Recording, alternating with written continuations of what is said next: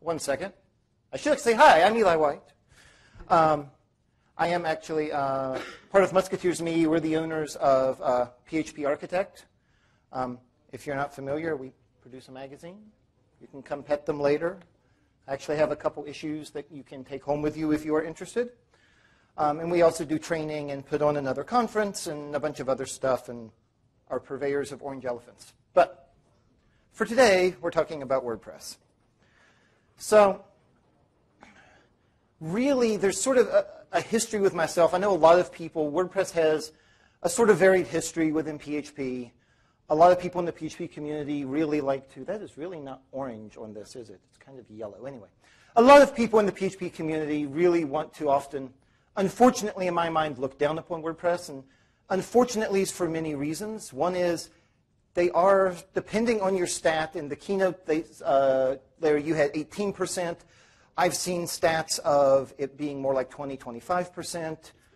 Yes, it's been going up, and the stats only look at like the top million websites. When you look at beyond the top million, tons of them are our blogs, because none of us are in the top million. Um, well, some of us might be, but. So there's a ton of WordPress stuff out there, and in the end, we're all in this together. This is all PHP. We can all work together. We can all help each other out. And even if WordPress is not for you, it's cool to know about certain parts of it. It's cool to know what it can do and what it can't do. So in the beginning, I was with everyone else. I was like, yeah, WordPress, yeah, I am never, ever going to use that for anything. Well, except for my blog, of course. Everyone's blog was on WordPress. Ah, well, there you go. Um, and, and I actually, at the time, even ran my WordPress-based blog on WordPress.com because it was one click, and look, I have a blog. And so I never saw anything else that you could actually really do with WordPress, because if you're doing WordPress.com hosting, you can't do anything other than run your blog, because you know, every plugin you want to install is please pay $5. And I understand that, it's a business. Um, and so I'd always just sort of looked at it as this, yeah, it's a great software for a blog. And I had looked into it once, like at WordPress 2 point something. And yeah, it was great software for a blog. Um, but WordPress 3 came out, and especially 3.5 and on since, and they've completely changed how it is.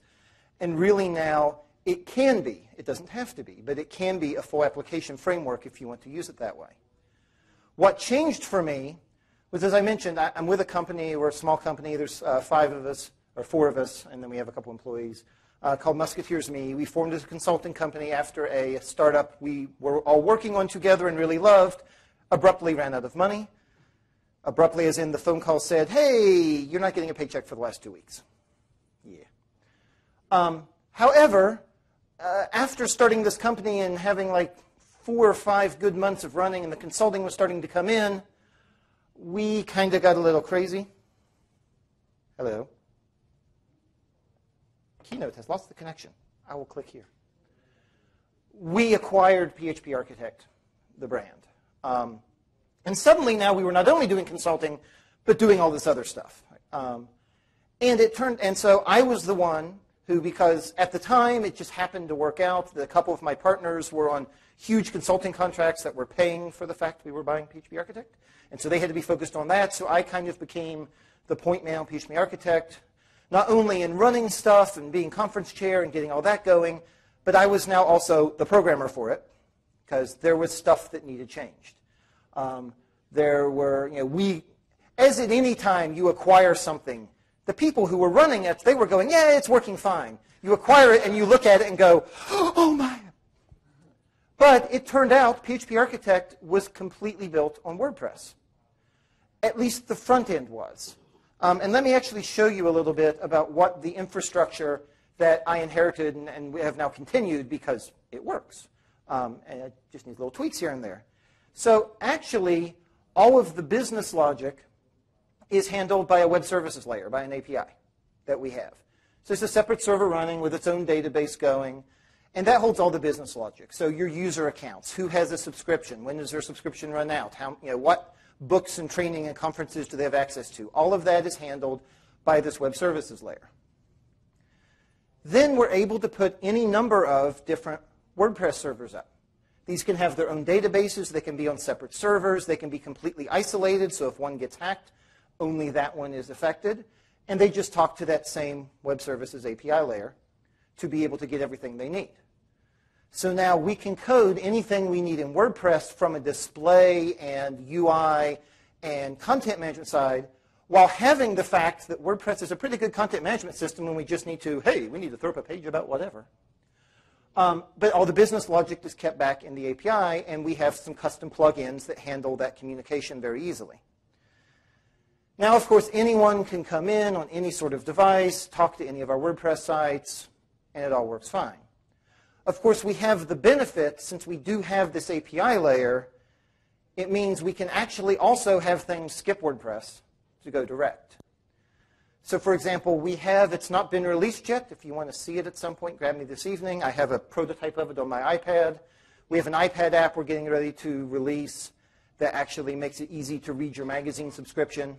As new, you know, as new issues get released, you'll be, you know, you get a push notification, click a link, download it, and just view it right then and there. Um, we also have an internal tool we use for customer support and handling all of the conferences and everything that's actually an Adobe Air app that runs on the desktop. I wouldn't have done that myself, but that's what was handed to me, and it works. And I've now picked up ActionScript to modify it and add a few things to it. And I'm like, okay, it's not that bad. A, I'd still like to replace it with a web app at some point, but it works, and there's bigger fish to fry. So, so that's sort of the infrastructure we have now, what I inherited and then sort of got thrust into. And my initial response, given my history with WordPress, was, oh my golly, this is on WordPress. And then I started getting into it and going, this, this is actually kind of cool. Then I get a little farther into it and realized, and I need to refactor a bunch of it because um, a lot of it had been written in about the WordPress 2.8 era. And so a lot of it still worked because WordPress did a fairly good job of keeping backwards compatibility, but it wasn't written the way you should be writing WordPress things now. So anyway, that's just a little bit of the history there. So I want to go into now, again, I'm going to try to get through as much as I can here, um, some you know, coding in WordPress specifically as a framework. So the first thing I do want to point out is just like how PHP, one of the things that has made PHP so great is we have great documentation online. WordPress does too. Uh, they call it the codex. It's codex.wordpress.org. It is really great. Um, and when you're thinking of it as a framework, you really want to look at the function reference. Um, there will be, uh, these slides are already online on eliw.com if you want to download them, and all the links should be clickable, I think, or at least cut and pastable. Uh, so if you go to that page, it's kind of like going to php.net's function reference. There's a million functions to do a million different things. I do not have time to go over a million of them at this point. But I do want to just show you a few examples that, like with any framework, WordPress has a lot of its own way of doing things. You certainly don't have to use these. So for example, for escaping output, there's this whole data validation section. And so, for example, there is an escape HTML function. You could certainly use HTML special chars or HTML entities, the built-in PHP ways to do it, but you get benefits of using escape HTML. For one thing, of course, like using any framework, if you're using the built-in way, it makes your stuff more standard. As another WordPress dev comes in, it's going to be in a standard way. But it also, you get benefits of if there's some bug that needs fixed, if there's some new type of attack that comes in that may get fixed inside of this WordPress function, and then it's handled for you. But also you get some benefits of the fact that you'll notice you only have to pass in text. And anyone who's ever coded in an environment where you were doing lots of raw HTML entities, um, where you're always having to pass in what type of quote escaping you want and the character set and all of that, WordPress takes care of that for you because WordPress inside of its config, it knows what character set you have told it to operate in. And it's making sure your database and all the internal code and everything is with that character set. Um, and because it has these different functions for different purposes, HTML text area, attribute, JavaScript, URL, and an escape SQL, it knows what quote type escaping is needed for that particular use case. So again, you don't have to use these, but they make it easy just like any framework providing them. Similarly, WordPress has its own database layer. You could just write raw PDO and connect to any database you want and go in the middle of a plugin. And I've seen many that do this, and I've refactored a few that did, because they were talking to the same database, but yeah. Um, again, I'm not going to really go through all this. It's just to show you that, look, there's a whole bunch of functions. And a lot of these mirror PDO-ish. Um, it does not use PDO under the hood at the moment. However, that's getting ready to change because it actually uses the old MySQL library that's now deprecated. Um, and so they actually have both a MySQL-i and a PDO version out there that you can install as a plugin that will take it over. Because everything is extensible, even the database layer is extensible. You can write your own database driver by extending this class, WPDB, and redo, oh, here's how I actually want you to connect, here's how I want you to query, and have it connect to anything. There's actually plugins available for lots of different database systems. Um, it still kind of assumes you're doing MySQL, so the database you're connecting to better be MySQL compatible SQL, because it is going to do some very specific MySQL things, um, like some of the uh, the replace statements if someone's doing some of the replaces and stuff that aren't necessarily ANSI standard syntax. So um, there is one drawback to this that most people kind of cringe at. It is a global variable that is defined for you. Uh, it's defined as, you know, Bucks WPDB as a global. But that's how they did it, and that's how it is at the moment, and it works. So, But the fact is it's there, and it actually does make it, again, very simple. And part of the thing is that some of these actually even take care of caching for you, because WordPress has built-in caching layers.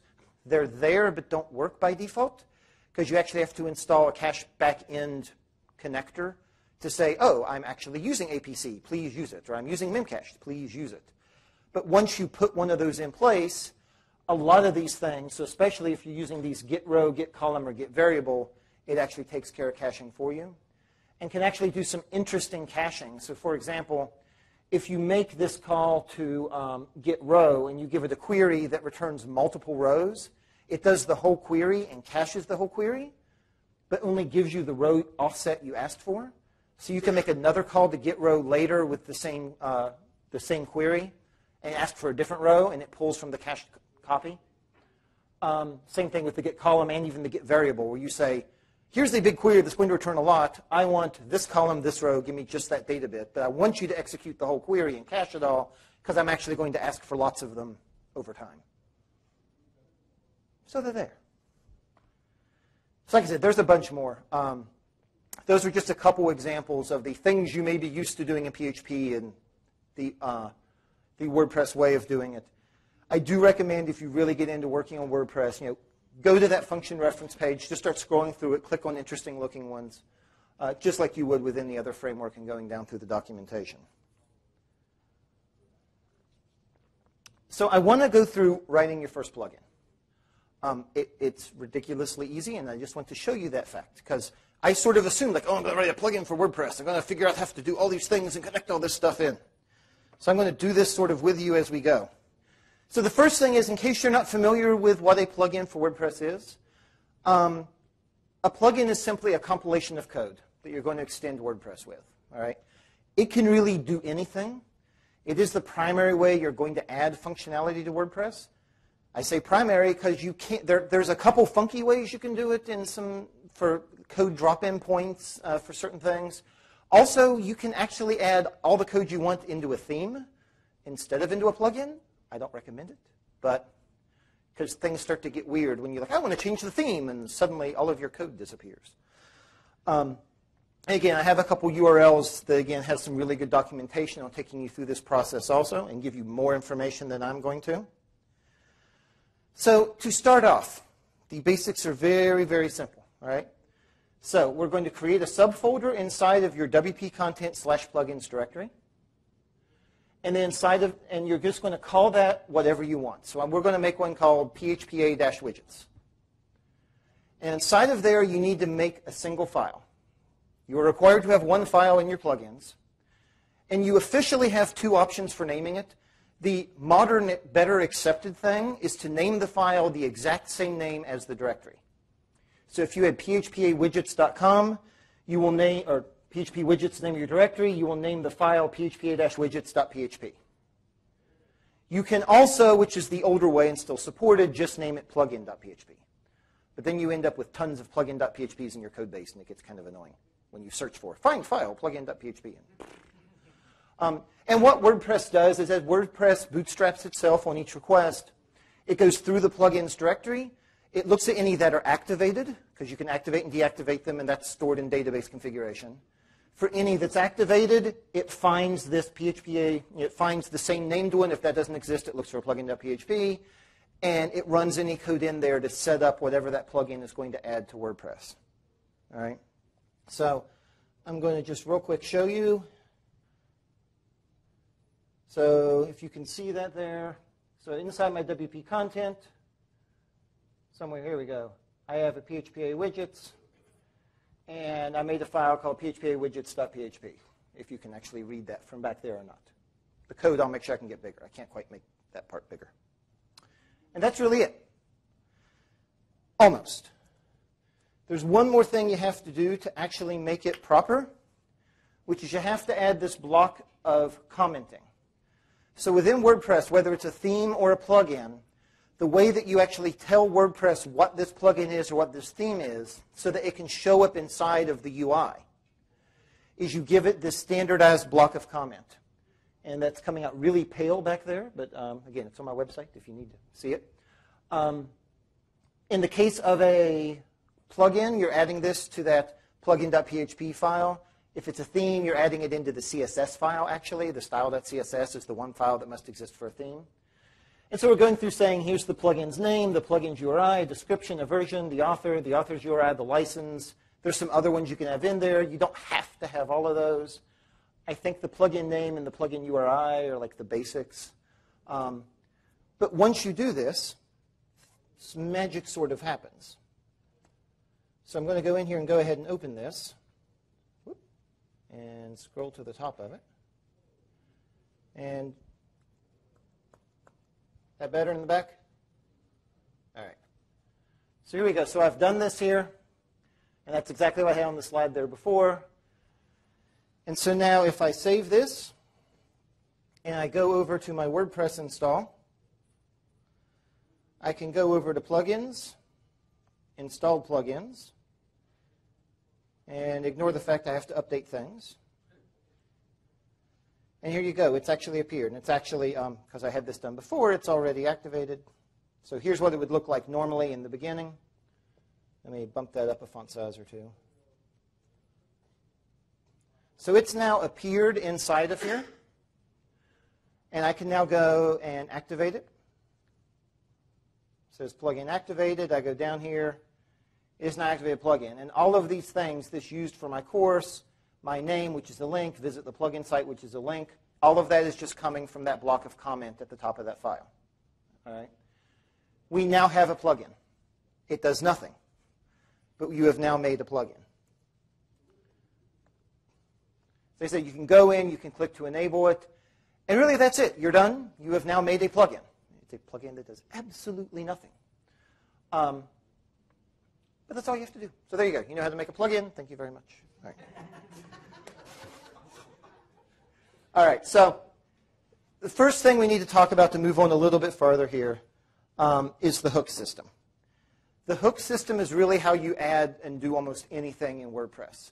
Um, everything, any custom code you're creating gets attached to some hook that will then call your code at the appropriate point in time in the big, long bootstrap process of WordPress figuring out how to handle any and all event. And I'm not going to go into that whole how everything gets handled because that's a couple hours long itself um, and scarily impressive, um, or just scary, one of the two. So you can go and read all about the hook system at that URL there. Um, the big thing here is that there are two categories of hooks. There are two types. You have filters and you have actions. All right, and so let's, let's go into each of those separately here. So filter hooks, their whole purpose in life is to allow you to change content on the fly. Almost any time throughout WordPress, that someone go, that somewhere you call for some contents, like give me the title of a post, or give me the body of a post, or give me the URL for something, or hand me the URL for the internal CSS file for this thing. Like every single time something that could be considered content happens, chances are WordPress has a hook to allow you to filter that. There are, I have say, thousands of different hooks uh, I think as of WordPress 3.6, there were 1,183 different hooks. Um, we're now at WordPress 3.8 point something. Um, and officially, there's an unlimited number because a lot of the hooks are actually variable hooks, where the name of the hook allows you to put something else in it to decide when it triggers, to have essentially a variable in it.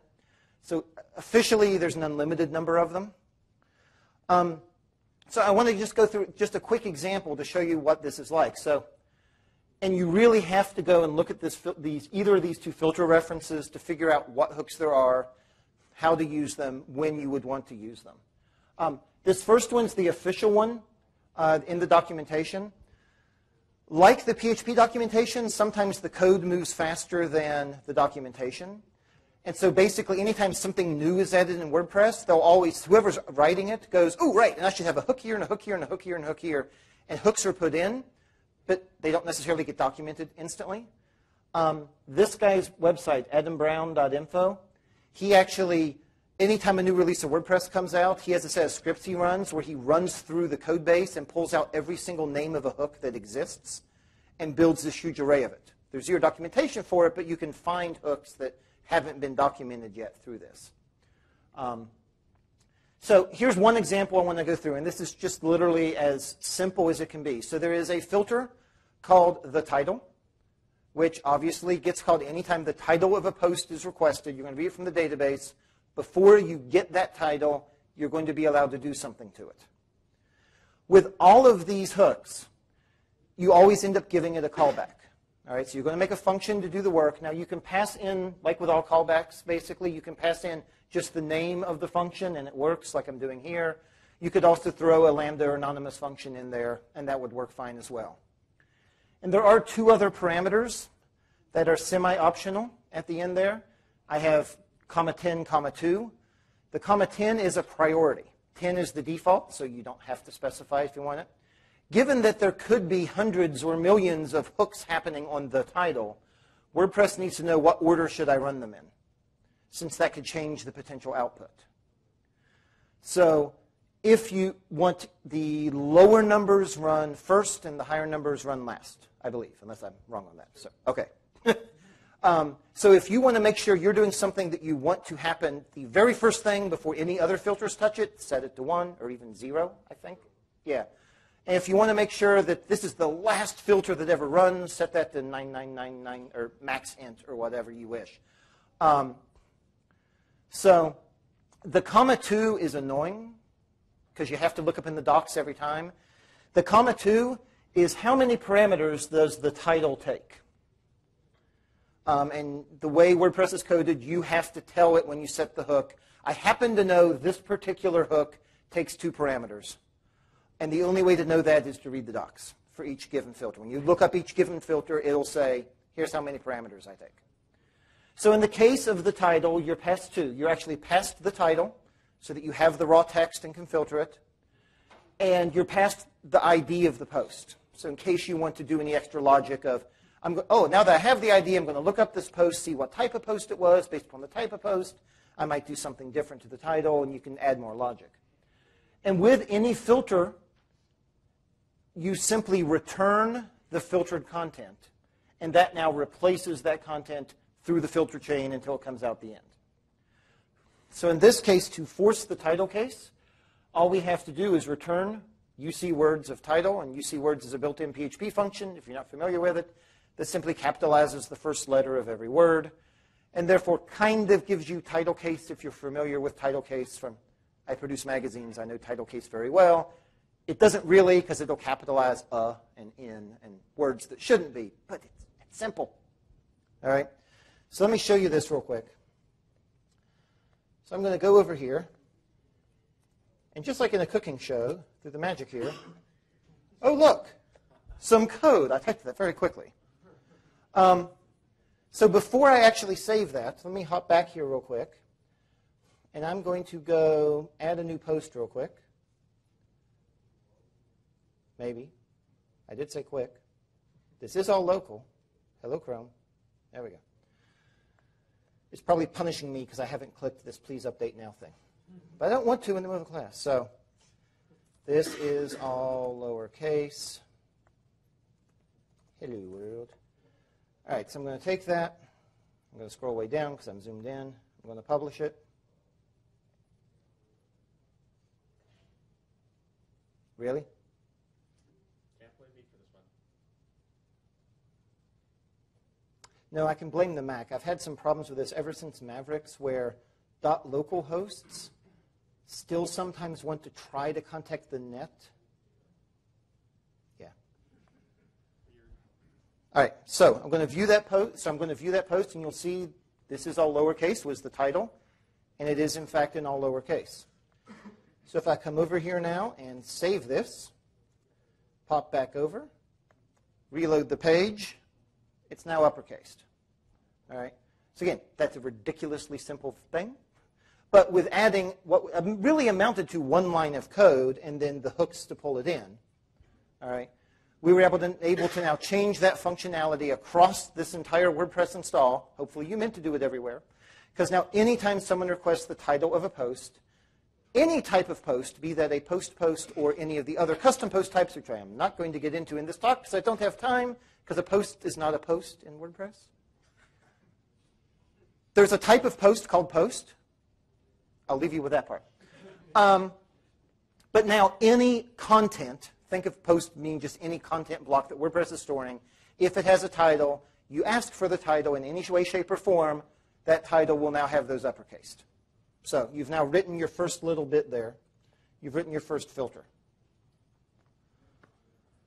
So action hooks, instead of filtering content being passed through them, Action hooks are triggered upon some action happening in WordPress. So basically anything else, anything not counting content, right?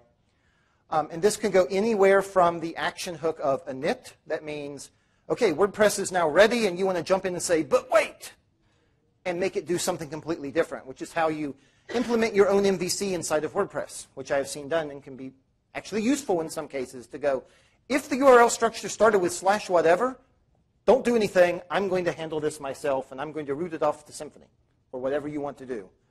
Um, and you can do that. Um, there are less of these.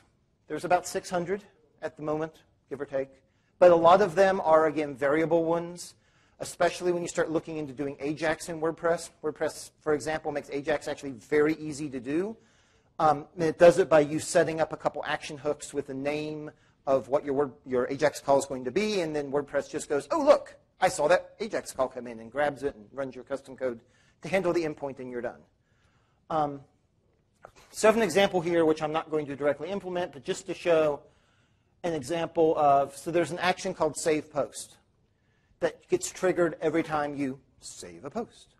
And so if you wanted to be an overbearing, um, evil operator and know every time someone on your WordPress install added or edited a post, you could write something like this that would send you an email.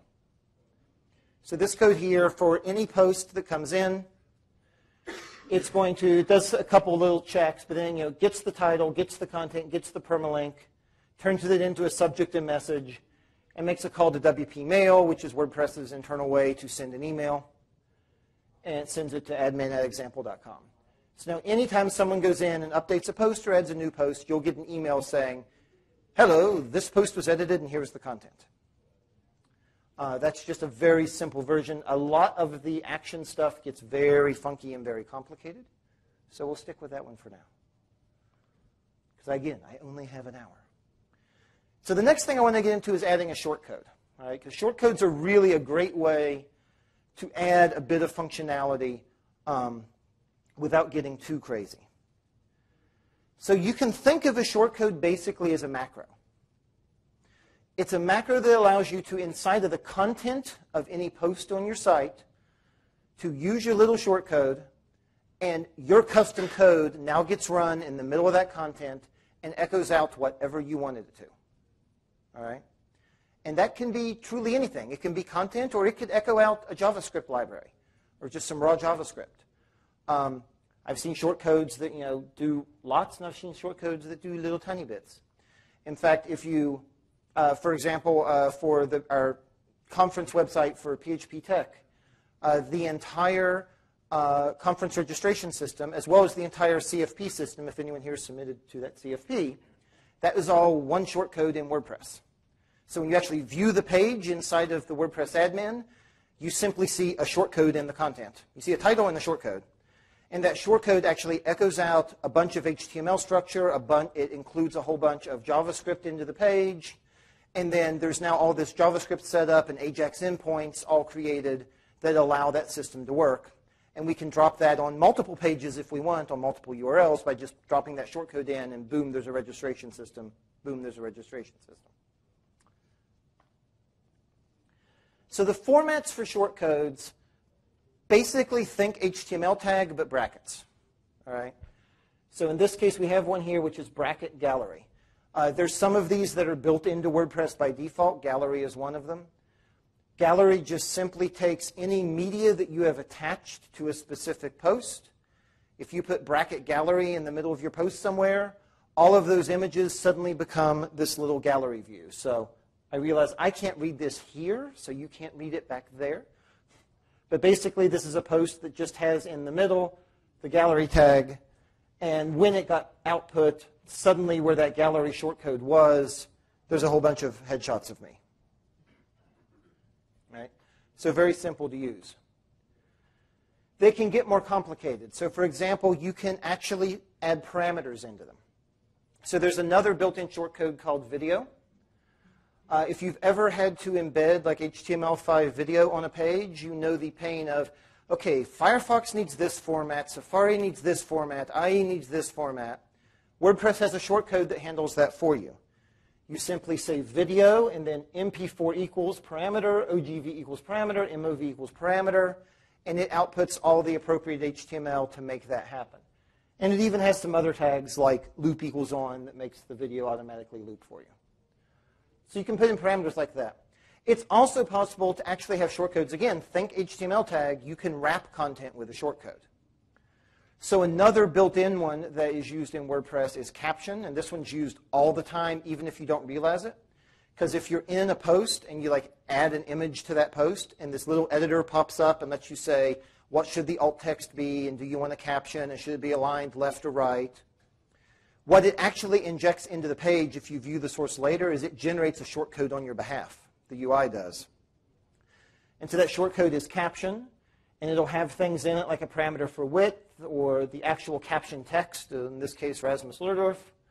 And then it wraps the image tag with that caption, and then you have a closed short tag block, which again just looks like a closed HTML block, but with square brackets. So there's a lot of flexibility of what a shortcode can do. So let's go through actually looking at creating one of these. So here would be a very simple, straightforward shortcode. So let's say you wanted to make, have the ability to somewhere on a page just say bracket contact, and it would output for you an email link that is prepared to be non-spam har spam harvestable uh, by spam bots. There's actually a function built into WordPress called anti-spam bot that can take care of that for you, but you can't directly call the function in the middle of a page, so that's what a shortcode's for. So the way you do this is, again, you're going to call add shortcode. You're going to specify the name that you want for the shortcode, and then you're going to give it a callback. In this case, we're giving it a function name of contact us. That function, it has a parameter called attributes we're going to ignore at the moment. Then we're simply going to call anti-spam bot on mail to contact at phparch.com and then return that link. Now, anywhere we want on the page after having done this, we can type contact and a contact us link appears and it's not spam harvestable. And if SpamBot's figured out how to handle how anti-spam bot's doing it, WordPress will update and come up with a new way to make sure it's not spam harvestable. But we can add a few things into that. So let's talk about that attributes uh, parameter. Um, any parameters that you want to come in are passed into that attributes parameter, but you need to do a few things to it first to use it properly. You should not use it raw for various reasons, and you can read up on that on WordPress. So let's say here's the usage we want. We want to be able to say contact email equals and give it an email address, and text equals and give it some text you want to say. And you want that to turn into now a link where the text is press department, but if you click it, it's a mail to press at phparch.com. So what you do, we're going to create our contact us. We have attributes. The magic thing you need to do is pass it pass the attributes through a function called shortcode atts. The parameter you give to shortcode atts is an array of what are the parameters you are expecting and a default value you'd like to accept, or you would like if that parameter is not provided. All right. So in this case, we're going to say we are expecting email and we are expecting text. We want their defaults to be contact at and contact us. And then you pass in the attributes. And then our code's the same. We're calling anti-spam bot, and we're returning the URL to it. Okay? So it's really straightforward. The other thing, I have this here because you will see this all the time in WordPress code. It's common practice. I know some people hate it and some people love it. But there's a function in PHP called extract. Is anyone not familiar with extract? Yeah. Uh, what extract does is it takes an array. So shortcode atts returns an array of your attributes. Extract takes an array and turns them into local variables. So the array that had email equals and text equals becomes Buck's email and Buck's text. Um, and it's just a shortcut way, and you'll see all the time of extract shortcode atts, so that later on you can just say Buck's email, Buck's text. You certainly don't have to do that. You could just save the output of shortcode atts into an array, but it's common practice. Actually, I want to see real quick what my next example was.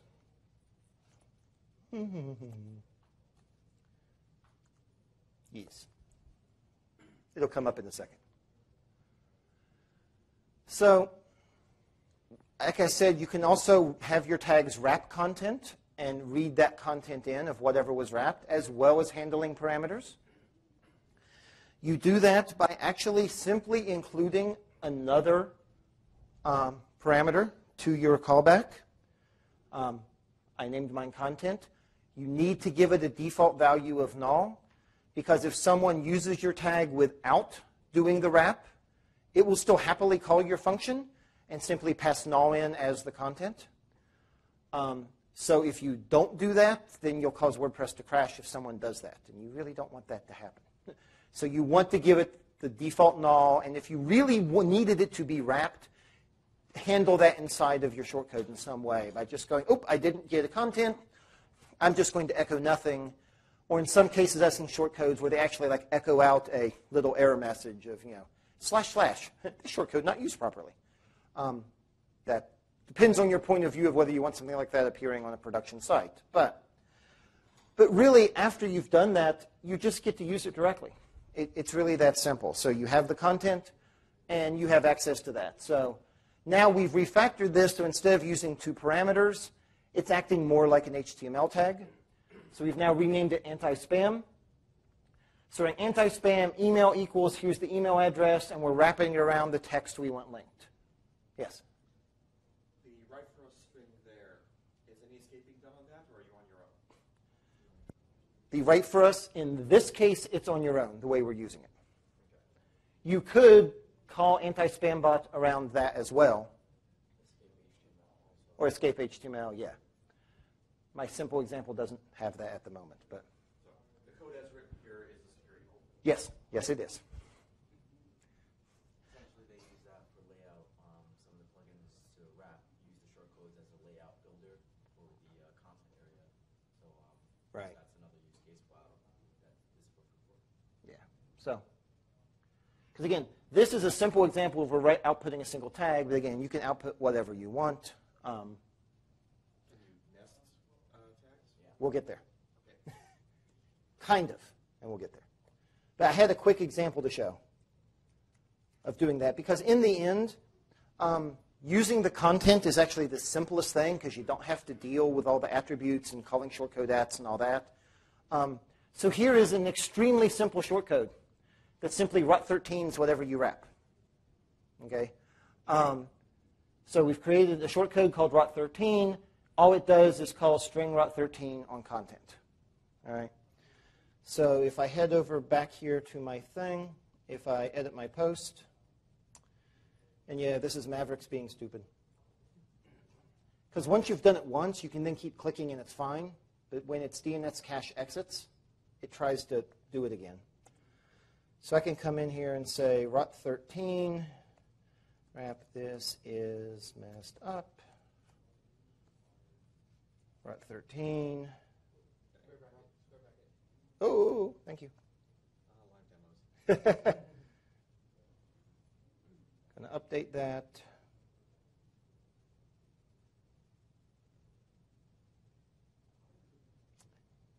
There it goes. View posts. And it didn't work. The reason it didn't work is I don't think I saved this. So let's try that again. There we go. So now that content that was wrapped got rot 13. So to that question, if I tried, right here, right now to just do that, rot 13, if I tried to embed it like that, um, there are multiple reasons why that won't work. And I'll show you real quick, then get into them. Either that or my local database is having issues because this is all local at the moment. You can wrap the content in underscore shortcut to do um. Yeah. So you'll notice that it, what actually happened was the, the shortcode parsing string is very simplistic. So it found that first rot13, started rot13ing everything inside of it until it found the first end rot13, which was actually the one that should have closed this one. That closed it all, and then that was just random text afterwards. Um, now, what you can do which I believe is my next slide. you can make it possible to nest. All right. Um, all you have to do, as was said, is wherever your content is, or wherever you want to allow nesting. You don't have to allow the nesting over your entire content. You could process the content and split it and only allow nesting in certain parts. You simply make a call to do shortcode, which recursively re-jumpstarts the shortcode engine and now looks at that content for shortcodes and continues on down the line, and it's elephants all the way down. Um, so now you could do something like this, where if you had the anti-spam, and then inside of it, rot13 some text, and that would work. Now, the part that still won't work is, let me show you real quick. Let me just go in here and do this. So I'm going to say, do shortcode on this content here. Theoretically, that, I just saved it, should make this now work because they are nested. Yes, exactly. It will not work because it's the same tag. What will now happen is that first one disappeared because it did understand the nesting. It started processing, it saw that first tag, but when the original one got to the end, it still picked the wrong end, right? Then it started running shortcode on the interior, which now started with a rot13 but didn't end with one. So it saw that as a complete tag with simply no ending and processed it as an empty one with content null. So you can nest if you do that, but you can never nest the same tag within itself. Um, one trick I have seen where people really wanted to do that is if you really want to be crazy, is you could do something like this. You simply now have two shortcodes that call the same function. And now you can nest rot31 inside of 13 and a 13 inside of the 31. And I don't recommend it. Just saying it's possible. I have actually seen that giving multiple names done before just for typos. Like, you know, you made a short tag called, you know, PHPA dash contact us, and people kept forgetting the dash. So you make a version without the dash also as an alias, essentially. There's not that much overhead to that. How are we doing on time here? Oh, I am running low on time. All right, so let's get into widgets real quick. As I said, they are magical reusable elements, kind of like unicorns. Really, in a sense, a widget is to your design what a shortcode is to your content. So a shortcode is a way for you to inject some type of code into your content, but shortcodes are only usable in your content without doing funky do shortcode calls and hacking, hacking it into something else. A widget is a way for your you to make a reusable visual element and reuse that on different parts of your theme, okay, or on different websites by pulling it in in different spots. Um, they're used in dynamic sidebars. So in WordPress, you have this idea of dynamic sidebars, which is simply an area that widgets can be dropped into. And you make a widget and you can now drop it in. So this is a basic widget. Um, except you have to fill in the code, but you know. Um, so you end up simply extending WP underscore widget. It's all nicely class placed. It didn't used to be this way, but this is how it is now. And please don't do it the old way. Um, and there are four uh, functions, four methods you need to define, and we'll go into those in a second. And then to create it, you call add action. You are now using an action hook. The action hook you want to hook onto is widgets init, because when the widgets init action hook is called by WordPress, that's the time to initialize all your widgets. If you do it later than that, they may not always work. If you do it before that, they will never work. So, in fact, you'll probably get some errors.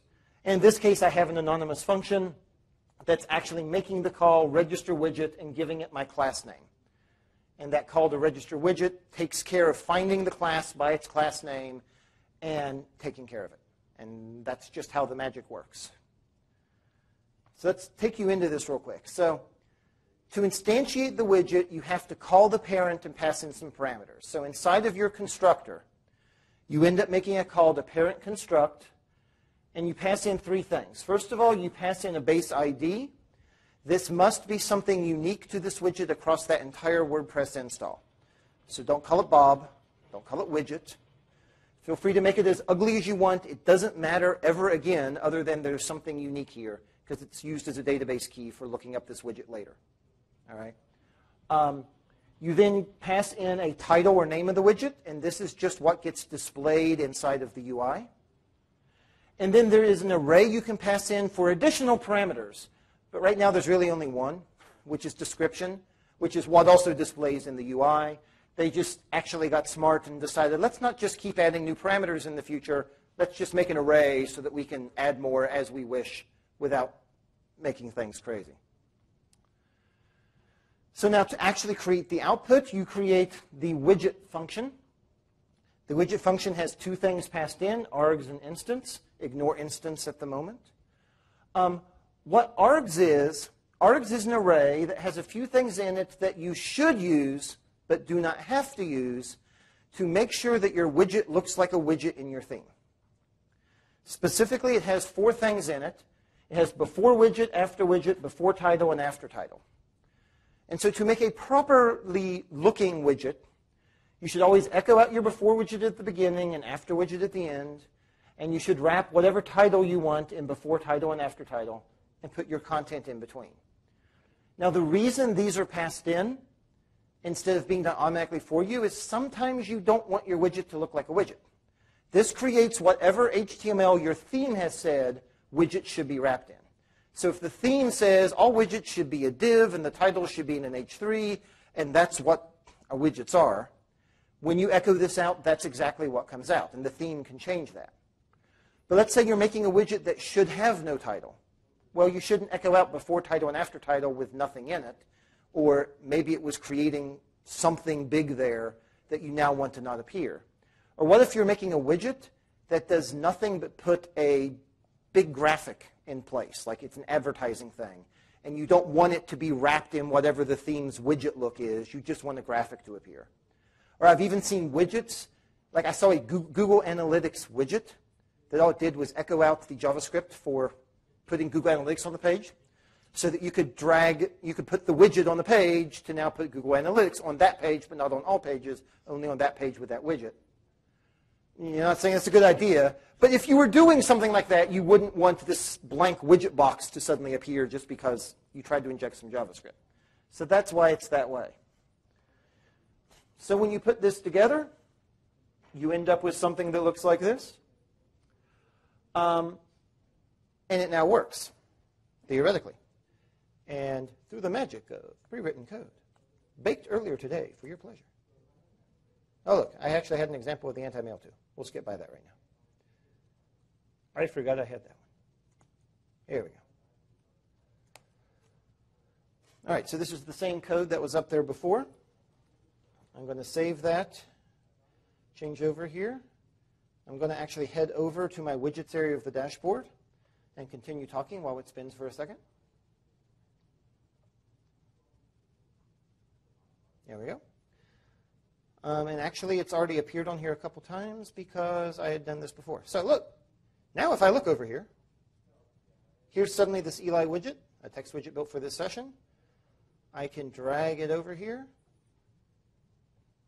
put it at the top of my sidebar. You'll notice it'll say there are no options for this widget. I can close that off, and it is now there. So if I go and visit my site, it's now appeared. So we created a widget, and we dropped it in the sidebar. All right? And I realize I'm running low on time here. So, so the next step is to actually make it configurable. Typically, you don't want a widget that just has some text you drop out.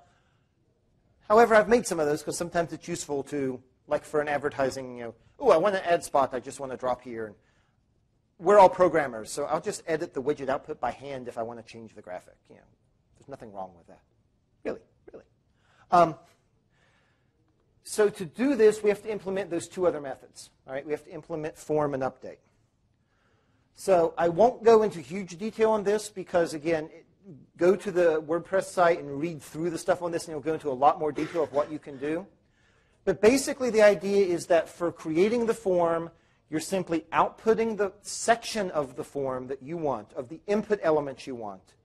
You don't actually make the form tags. WordPress takes care of that for you on the widget page. So you're just creating the input elements you want. And there's a couple things you need to do to make this happen. Basically, you want to come up with whatever you want the name of your input thing to be. So in this case, we're going to make a title. Okay? So we're calling it title. You'll see title here everywhere. There's a couple functions you have to call to find out from WordPress. I'm going to call this title WordPress, what are you wanting it called? uh, on the form. What should the form element name be? What should the form ID be so that WordPress understands that when the submit happens? So you do that by calling this get field ID and this get field name and passing in title. So then all that we're echoing out here is a paragraph tag just because that's usually what they do and it makes it format nicely. We're going to be nice and make a label call the label title. Then we're creating the input and ID equals the return value we got from get field ID. Name equals the return value we got from get field name. And it's a text field. And we're also going ahead and this instance variable gets passed whatever the current values are. So we can look at, in this instance variable, look at the instance title. Did it exist? If so, use it. If not, we're going to set a default title of example widget. So from the beginning, there's something in that input. All right? And we're going to go ahead and then echo that back out so that you get to see whatever the current value is. Then the one last thing you need to do is implement the update function.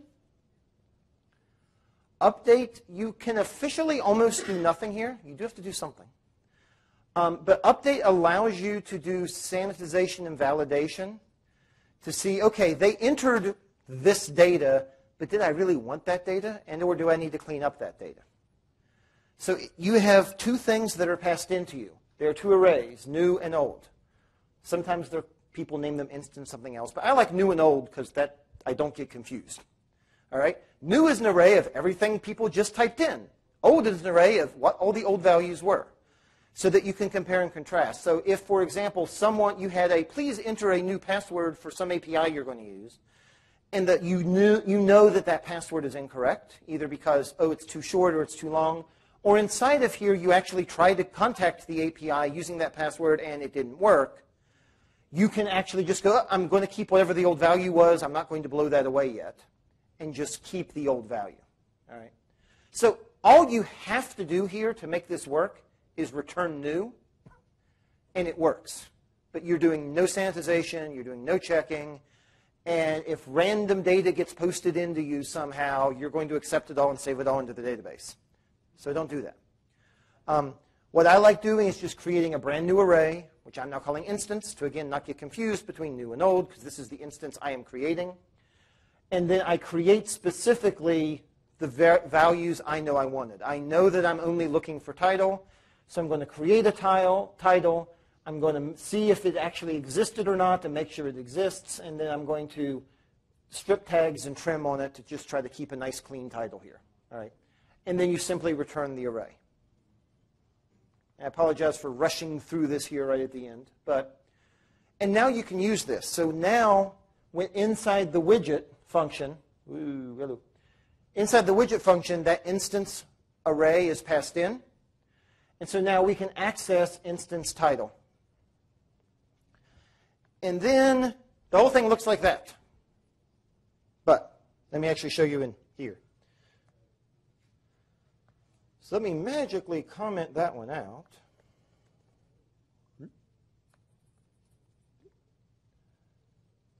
Here's another version. So this one does all that. So in here we're using the instance title. We now have our form that's being output. And we now have our update that takes care of doing the strip and trim tags for us. We're going to save that, and we're going to go back here. And we're going to head again into the widgets. And we're going to do a little dance while my machine is stupid. And now if we go over here and click on this, we now have an input element. We create one called title. It says example widget in it. I can go in here and say title should be Eli's class. I'm going to save that. It now saved. And if I head over to the local site now, it now says Eli's class instead. I also want to point out real quick, you'll notice that that title actually appeared right here in the UI as well. I don't think I've actually seen this documented anywhere in WordPress. However, there's this interesting thing that if you actually create a field named title, WordPress will take the content of it and put it up in the actual title inside the admin UI as well, which is kind of useful given that you can put a widget multiple times.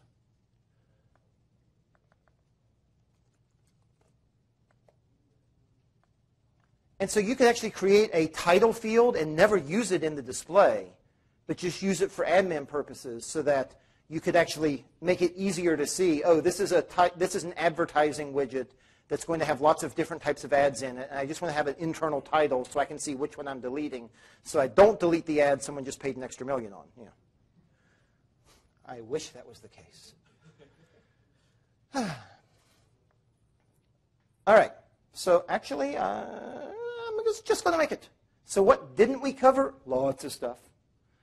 Like I said, I really wish I had a lot of trouble making this course because there was so much stuff I wanted to do. Like I, I had to leave so much out. I had a whole bunch of slides on how to do Ajax in WordPress because it just impressed me once I saw it, how simple WordPress made it as an integral part. So it makes it very easy, for example, to make a widget or even a shortcode that, because you can make a shortcode that's now a, puts a contact us form in the middle of any post, and it handles all of that because the output of the shortcode hooks up a couple Ajax endpoints so that this form that the shortcode generates just sends it off via Ajax and takes care of everything.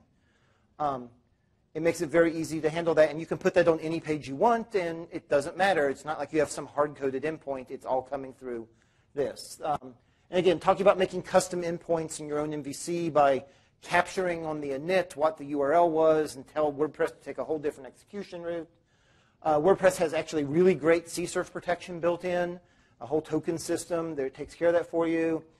Uh, tons of localization and internationalization stuff that you will have to read up on because if you ever look at any existing WordPress code, you're going to go, what the heck is with all these underscore L, this, that, underscore E3? So there's all these functions out there that take care of internationalization and all the themes and plugins that are shared publicly, use them heavily. If you're writing something internally, you don't need to at all because it's internally. However, if you are, it's all in there. There's all sorts of other types of plugins out there. Um, you can make plugins that simply provide code libraries. Like I've seen a plugin that basically had Zend framework inside of it. And that's all it did. That's all it did was had Zend framework inside of it. So then other plugins, this was all for an internal site, so this one plugin just provided Zend framework inside of the code base so that other plugins could then call up, knowing the name of that plugin, could include those libraries. Um, there are drop-in code points and drop-in pages where there are special files. If you name a file a certain thing, WordPress now accepts that and uses it, and that's how, for example, you override the database driver. You create a file with, yeah, just DB in that one. Yeah. And there's a, there's a couple others like that. Um, you can modify the admin pages all you want, create all sorts of admin page stuff and fancy different stuff. And again, there's all the post types, and then there's the entire template system, and then the entire WP query and the loop. That's just a ton of different stuff. Um, there's just so much more. Um, so I'm officially out of time. So a brief commercial interruption. Um, first of all, really, if you really want to know more about WordPress, please go read the codex. There's so much good information in there. If you're not up for reading, I will point out that we at PHP Architect offer a uh, training course. Uh, this content was actually based off of that course. That course is a 10-hour long course. I had to somehow slice only an hour out of it, and it was really tough. Um, this might be actually like maybe an hour and a half worth of that content really compressed. Um, but we go into a lot more detail about that and go into all the template system and everything else if you're interested. Um, also, if you don't know, we are back in print after being out of print and digital only for a long time. Please come up and fondle them.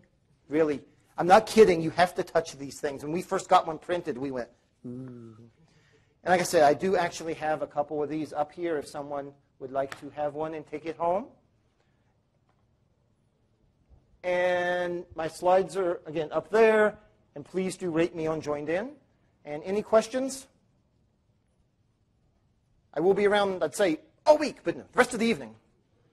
Uh, if you have anything, want to come see me, or if you want to pet the one orange elephant that exists at the moment. He's not the right color orange. He should be actually this, but he was a spare fabric prototype. So, so thank you very much.